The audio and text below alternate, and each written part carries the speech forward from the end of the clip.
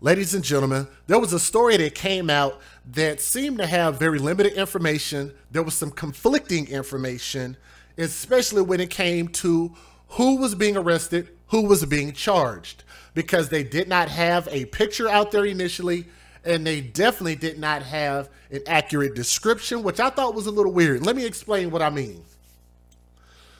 If somebody hurts a child, if somebody is arrested, in that case, whether they're guilty or not, because they're all going to have their day in court, I still believe that it is important to the community, to the world, to the news, to us as citizens, for us to know who has been arrested. For whatever reason, unless there is just some some detrimental reason why they can't release the information and the, and the pictures, I don't know why they don't. And I think that's very weird how we got to wait weeks and months and sometimes years before they finally show a face and say, hey, this is the person that was arrested. But every day, you got websites like Just Busted and some of these other websites when people go in for traffic tickets and and sweeps and DUIs and stuff like that. And their pictures are put out there all the time. So here's my thing if anybody is accused of doing something to a child, in my opinion, I don't mind their identity being put out there until they are able to clear their name. I think that's only fair. Do y'all think I'm wrong for saying that? Matter of fact, let me say this for the people who came for the news. But I don't know if y'all know this, but this ain't the news. If you are on this channel, this is not the news. What this is, is me giving my commentary on things that have happened and stuff that the news has reported. So if you came for the news, then all you got to do is Google search the story. The individual that you see scrolling across my screen is the person who I believe was the man that was arrested. The California personal trainer and father, and I want to want y'all to hear this. He is accused of beheading, decapitating his two children at their home last week, and he has been seen for the first time in a video showing the moment he was taken into custody on a gurney. Huh? Now, there's a reason why I'm talking about that, and I also have some video evidence that might actually prove that that individual that you guys see on my screen, let me see if I can back that up like a U-Haul truck for a moment. I believe that's the individual that they have arrested. And yes, it is a black man, not a Mexican man that they had showing on some websites. Matter of fact, for the people who are posting on Facebook that are showing a Mexican man, there's a few reasons why I'm going to show you guys that that information is wrong and they're putting the wrong face out there. The individual right here, that individual's name is Maurice Taylor Sr., or better known as Maurice J. Taylor Sr., who is 34 years old. Matter of fact, would y'all like to know his middle name? Not that it's super important, but I just think it's a funny fact. Because sometimes with these sad stories, you got to talk about things that are a little bit comical because what really happened is really, really sad.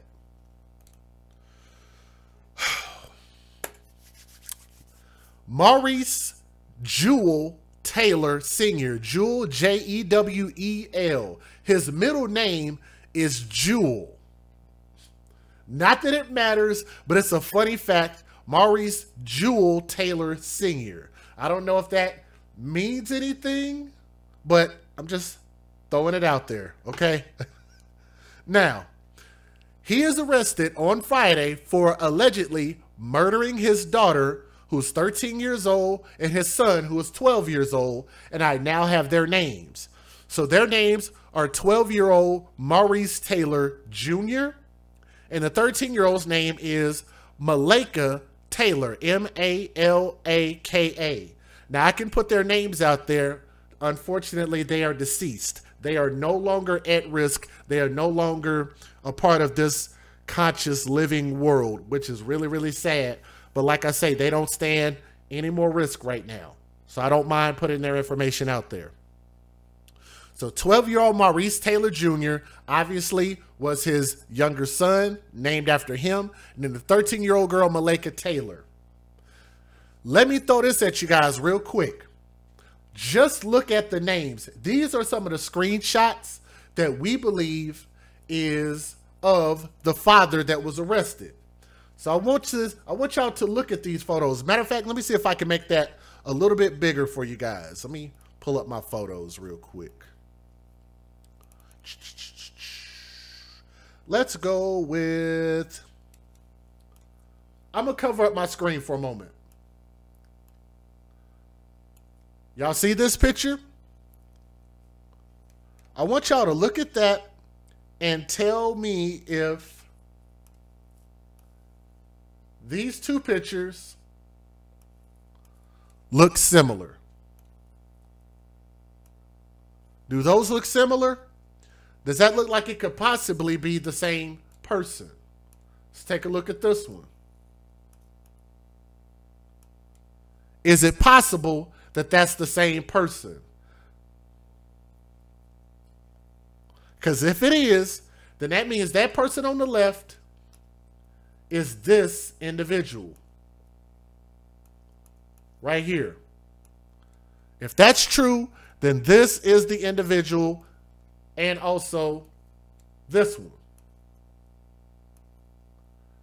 This is who we believe to be Maurice Jewel Taylor Sr., who was 34 years old, and he have he has a 34 year old's hairline, just like me.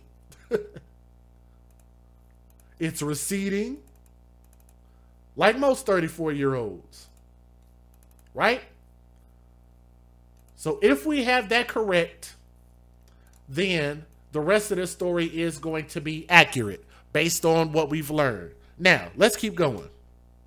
Also, by his name, I was going to say about his name, Maurice Taylor Sr. sounds more like a black person's name rather than a Mexican person's name. Okay? Now, authorities made the gruesome discovery while responding to reports of a possible gas leak at the property on the 45,000 block of Century Circle, where the children were found in separate bedrooms with lacerations and stab wounds. An adult female thought to be the victim's mother, and two other children were also present in the home at the time. They appeared to be unharmed and were questioned by the officers. But let me say this I think it was actually his wife. Not his mother, but I think it was his wife because it was two adults, four children, but I think the other adult was his wife. Okay? Thought I'd throw that out there. So let's see. It says an adult woman presumed to be the suspect's wife and the mother of the victim. So there you go. So y'all can see where I'm getting my information from. And I'm going to talk about what actually makes sense. Okay? Now, police said at the time that one of the adults had been transported to the local hospital for difficulty breathing, although it's unclear if that was that guy whose Facebook is still open. Maurice Taylor was arrested without struggle and booked into Lancaster Station, where he is being held on a $2 million bond. He is due to appear in court on Tuesday. It is unknown what motivated the alleged attack, and the, in, and the incident remains un, under investigation. However, Taylor's personal trainer clients told the LA Times that they had grown concerned over his well being earlier in the week. So let's talk about that. Mr. Personal Trainer. The fitness trainer, who was described as mellow and reliable, had sparked conver- uh, had sparked concerns when he failed to show up for fitness sessions he had been running over Zoom. Howard Kern, an attorney and writer who had taken a personal who had taken personal training sessions with Taylor for about 7 years, told the Times that he reported the gas leak Friday morning, leading fire department to find the bodies. I said, I'm concerned. We are concerned about a possible gas leak. There are four children and two adults, and we're concerned about their safety, Kern told the paper. The Los Angeles County Fire Department were called to the single-story home at about 7:50 a.m., which I'll show you guys that on video. Lancaster Mayor R. Rex Parris said both victims had been decapitated. Both victims had, had been decapitated. LA County Sheriff's deputies responded out to the location and saw that there were two individuals inside, both very young, possibly in their teenage years, deceased, according to Lieutenant Dean told the reporters at the scene on Friday morning. Uh, of course, I already told you guys who they were, which was which was his son who was 12 and his daughter who was 13. It doesn't seem to be that the cause of death from the two people inside have anything to do with the gas leak, he said. Another client told the Times that she had also been contact that she had contacted the sheriff's department days earlier on Tuesday when Taylor failed to show for a session over Zoom. She said she knew something was wrong when he didn't send a Zoom link for the, for a session and then didn't show up for the allotted time. The client who spoke anonymous, anonymously said she and another and other clients tried tried and failed to contact him and started contacting each other voicing concerns that something had happened. I knew they weren't out of town. They didn't have money to travel. Now I wonder how they knew that. They said they didn't know that they had money to travel. But anyway, they were afraid of carbon monoxide poisoning or they were all dead from falling asleep. She described Taylor as so reliable, so responsive, and mellow. It's not clear whether or not deputies responded to the home on Tuesday when she contacted LASD. Deputies were, uh, questioned the four people inside the home at the time, including Taylor, and an adult female and two children.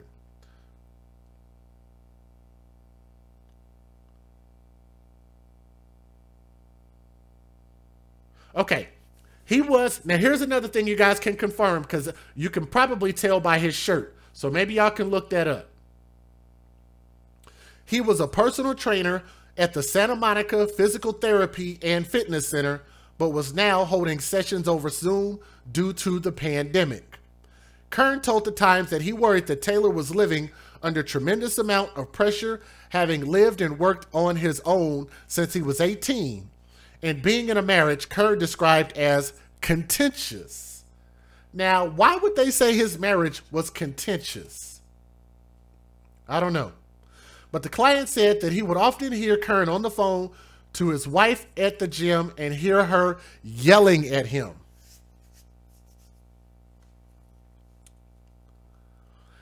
I'm going to read that part again. The client said that she would often hear Kern on the phone to his wife at the gym and her and and uh, and hear her yelling at him. He'd be very apologetic and she'd be yelling at him. At this man, the wife. And I think the wife's name is Natalie, if I'm not mistaken. He, descri- she, he describes him as the nicest person that you know, then multiply that by five. He worked so hard to support himself, and unfortunately, we don't have we don't know enough to say what happened or what didn't happen. Mayor Perry says he believes the fallout from the pandemic had created a stressful environment. What I'm seeing is more and more people feeling desperate, and that can only have one result, which I don't like the fact that he said that. Because I feel like you're giving people an out, like a reason. But a property owner in the area told the Times that he thought only two children lived in the home.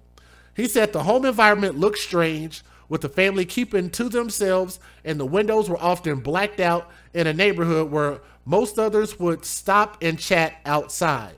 Now, let me show you guys the news videos. Let me give you the fair usage. Let's talk about this. Let's get it. Federal law allows citizens to reproduce, distribute, or exhibit portions of copyrighted motion pictures, videotapes, or video discs under certain circumstances without the authorization of the copyright holder. This is called fair use. It is allowed for purposes of criticism, news reporting, teaching, and parody, which doesn't infringe of copyright under 17 USC 107.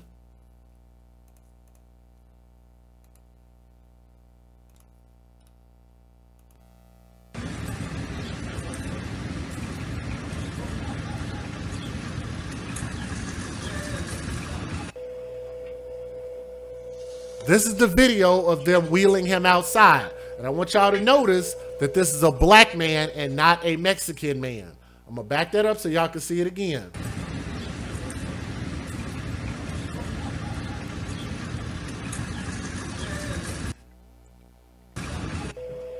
Can y'all see that?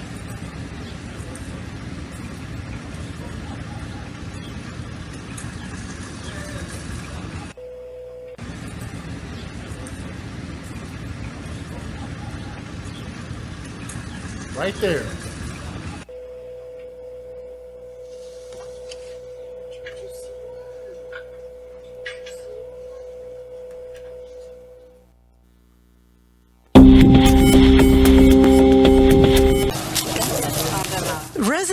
Say little as they walk past us and the yellow crime scene tape off the usually quiet Lancaster neighborhood where this morning LA County Fire and the gas company responded to a gas leak. LA County Fire personnel made entry to the site location and immediately saw two people inside uh, deceased. LA County Sheriff's deputies responded out to the location and saw that there was two individuals inside, uh, both very young, possibly in their teenage years a male and female, both African Americans and seemingly not dead from gas inhalation. Possibly suffering from some type of a uh, sharp trauma, uh, either stabbing or slicing device. At this time, it doesn't seem to be that the uh, cause of death from the two people inside have anything to do with the gas leak. Young, possibly in their teenage years. A male and female, both African Americans and seemingly not dead from gas inhalation individuals inside, uh, both very young, possibly in their teenage years. A male and female, both African Americans and seemingly not dead from female, both African Americans and a male and female, both African Americans and seemingly not dead from gas inhalation. So they say they were black. The kids, they said African American, that means they're black, meaning one of the parents has to be black. And in this case, I believe it's the father just by proxy because his black son has the name Maurice Taylor Jr., 12 years old, which sounds like that's his father, which would be black, right?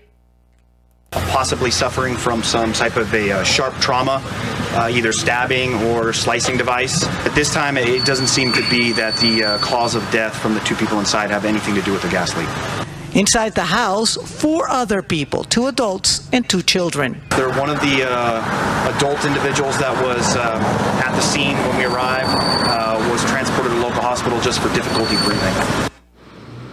Adult individuals that was uh, at the scene when we arrived, uh, was transported to local hospital just for difficulty breathing.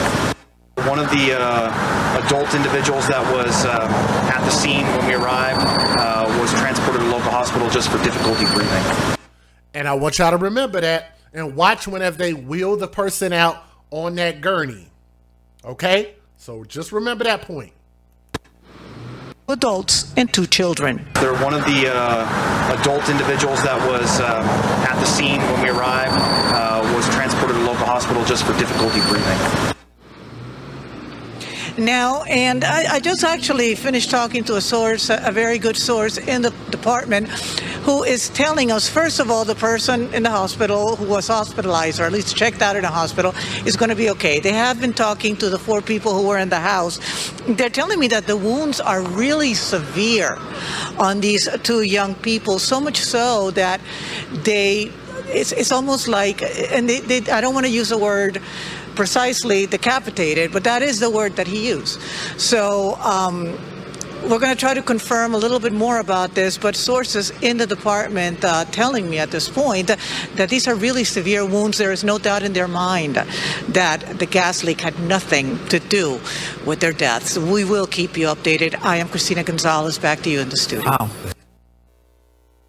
A family tragedy in Lancaster. Two children found decapitated inside their home, and their father is under arrest. Firefighters had initially responded to reports of a possible gas leak at this home on Century Circle. Then they stumbled on the horrific scene. They immediately called sheriff's deputies and paramedics who removed the bodies of a 12 year old boy and a 13 year old girl.